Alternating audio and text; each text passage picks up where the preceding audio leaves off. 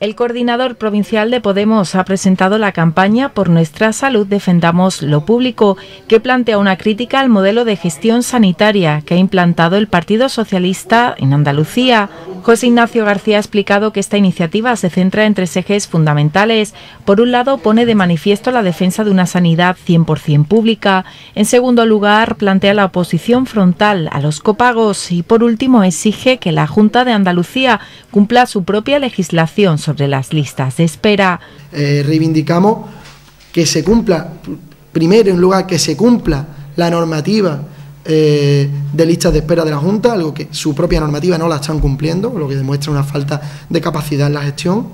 Después, que el aumento de inversión pues haga disminuir la lista de espera y después transparencia en el sistema de listas de espera. El coordinador provincial afirma que para ello, desde la formación morada, han presentado distintas propuestas en el Parlamento andaluz, como la ley del 7%, que con un solo artículo exigen que se garantice el 7% del Producto Interior Bruto de financiación sanitaria una iniciativa que asegura facilitaría el cumplimiento de estos tres ejes de la campaña.